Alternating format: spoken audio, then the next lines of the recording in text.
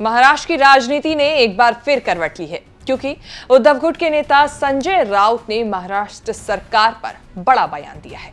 राउत ने महाराष्ट्र सरकार को लेकर दावा किया है और कहा है कि अगले 15 से 20 दिनों में एकनाथ शिंदे के नेतृत्व वाली महाराष्ट्र सरकार गिर जाएगी। साथ ही राउत ने यह कहा है कि शिंदे सरकार का डेथ वारंट भी जारी हो चुका है।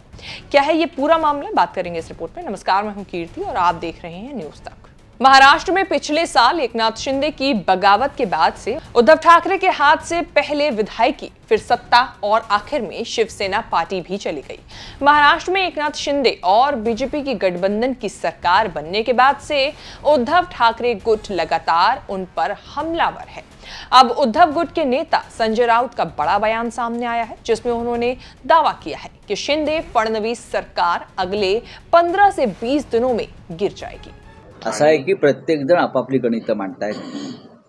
आम्ही निकालाची वाट पाहतो. पण सध्या जे मुख्यमंत्री आणि त्यांचे जे चाळीस लोकांचं राज्य आहे ते पुढल्या पंधरा ते वीस दिवसामध्ये गडगडल्याशिवाय राहणार नाही. मी मागे एकदा सांगितलं होतं की फेब्रुवारी महिन्यापर्यंत सरकार पडेल.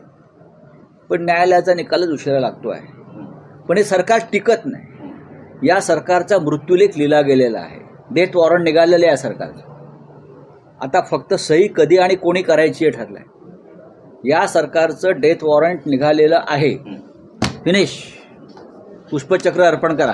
बता दें, इससे पहले भी राउत कह चुके हैं कि फरवरी में महाराष्ट्र सरकार गिर जाएगी। लेकिन इस बार संजय राउत की ओर से ये दावा हाईकोर्ट में लंबित उन याचिकाओं का ज़िक्र करते हुए किया गया है, जिसमें एकनाथ शिंदे गुट के 16 विधायकों को अयोग्य ठहराने का अनुरोध किया गया है।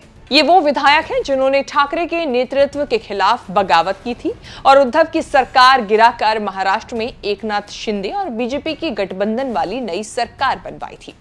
इसके बाद उद्धव गुट और एकनाथ शिंदे गुट असली शिवसेना की पहचान के लिए आमने सामने आ गए थे, जहाँ एकनाथ शिंदे गुट का कहना था कि हम बाला साहेब ठाकरे की विचारधारा को आगे बढ़ा रहे हैं। तो वहीं उद्धव गुट शिवसेना पर अपना दावा ठोक रहा था।